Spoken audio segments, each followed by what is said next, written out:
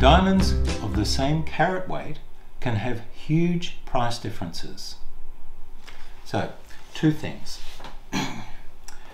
There's a fellow called Martin Rapaport who, in the 1980s, early 1980s, developed this price report, which is still published today, every month. And in the diamond buying guide that I put together, we have a little grid, little price grid, which is based on the Rapaport price list.